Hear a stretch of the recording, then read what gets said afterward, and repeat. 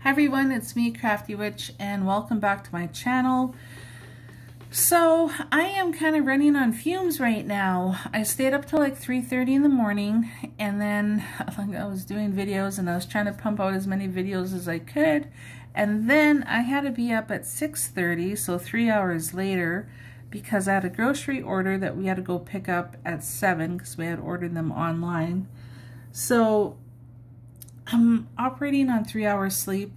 I haven't had a nap. I'm going to have to do that. Um, but in the meantime, there, there was so many things I, I wanted to prepare for and get done because today it, it's Samhain, which is awesome and amazing, and it is truly my favorite Sabbath. It's my most favorite day out of the year, and it's also a blue moon. So that is super special. And it, um the, the, like I wanted to make as many oils and all kinds of stuff as I could. Because I mean who knows when it's gonna happen again. Uh, I think somebody had told me what like 19 years from now kind of thing. So um so in the meantime I want to prepare as much um things as I can so that I can tap into these energies for today and tonight. So this is what I'm working on. Uh, this is Samhain 2020, Blue Moon Water, and then Samhain 2020 Blessed Blue Moon Oil. Uh, these are one liter jars. I actually, I ran out of jars this morning. Well, like 3.30 this morning. Um, and so I needed to go to the store and I got like a dozen of the uh, one liters and then I've got a dozen of the 500 milliliters, which I guess is like a half pint. And then I've got a dozen of the, the smaller ones that are like 250 milliliters, which would be, I guess, a quarter pint? I don't know. Anyway, um, so I went and got all these jars, washed them, and um, here we are.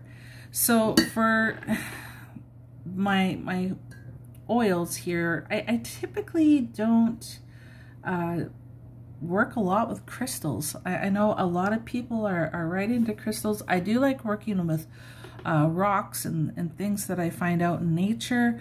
Um, and I do enjoy looking at crystals and, and that kind of thing, but I don't really work with them a whole lot. Uh, I know a lot of people add them to different potions and tinctures and oils and waters and elixirs and you name it. Um, I just don't, I'm not against working with them. It, it's just never really um, called out to me. However, this time uh, with uh, the Blue Moon water and then the Blessed Blue Moon oil, I felt a very strong connection to use quartz crystals in them. And so that's what I've done. So I actually have made three jars of the, the Samhain 2020 Blue Moon water. And each jar I put, I don't know if you can see that in there, maybe kind of. No, probably not. Um, see right here, there's a big quartz crystal. And then I done the same thing. There's another big quartz crystal right there. So I done the same thing with the oil. Um, I'm going to make sure that these are put out on my windowsill tonight and that they charge in the moonlight. I am making altogether two liter jars, um, two one liter jars, there you go, of the oil, and then I'm making three one liter jars of the water. So um, I'm hoping that should last me for quite some time, hopefully. I I have no idea. Um, I can't, like I said, I don't even remember last time there was a blue moon on Samhain, so uh, it's definitely a special time. So get yourself some water, get yourself some oil, get yourself some jars, and get her done, folks. So that's it for now. Ciao.